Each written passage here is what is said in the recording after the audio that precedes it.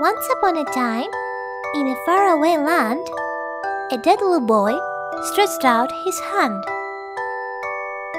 He looked at the stars, the moonlit night. He put on his scarf and brushed his skull white.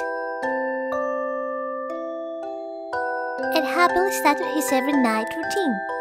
He went to his little grave and started to clean. After that, he went for a big walk, craving so much that he had someone to talk. It was around the morrow when he decided to go back. When he saw hair and a live little girl with hair of black.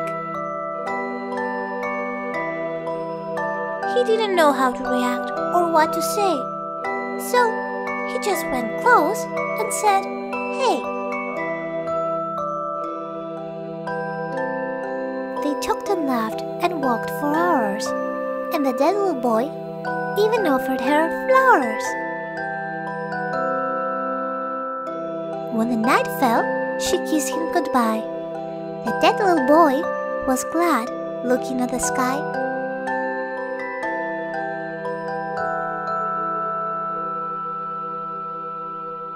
By the time the first sunlight touched the glen, the dead little boy was aching to see her again.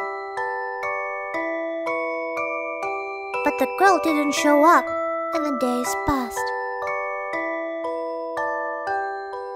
So, despondently, he returned to his grave at last.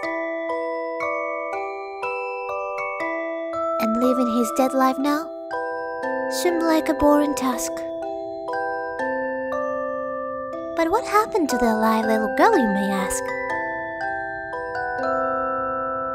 Well, she met an alive little boy full with grace.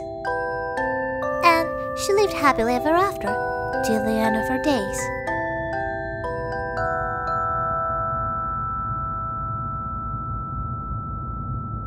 When death took her at last.